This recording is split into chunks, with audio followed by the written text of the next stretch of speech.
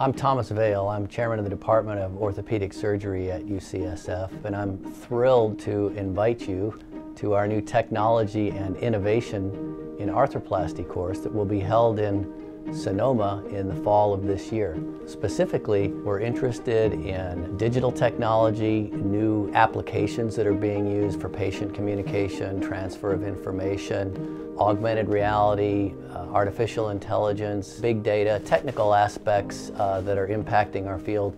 In addition to biologics, such as the use of stem cells, uh, platelet-rich plasma, and other uh, supplemental uh, or related uh, fields of science that are beginning to impact total joint replacement patients. We've brought together a group of nationally and internationally known uh, leaders in the field of arthroplasty to talk about the latest technologies, the latest perioperative management skills. We'll be covering a great deal of the research that's come to the forefront in the last year with a journal club that highlights the most relevant articles that we feel practitioners need to know. Additionally, we're going to be going over the latest technologies in implant design as well as perioperative management. We plan to dive into alternative payment models and healthcare economics as it relates to the practice of musculoskeletal medicine. Things like bundled payments, accountable care, population health. I think we're really facing a, a, a revolution and major change in how orthopedics and musculoskeletal health is funded.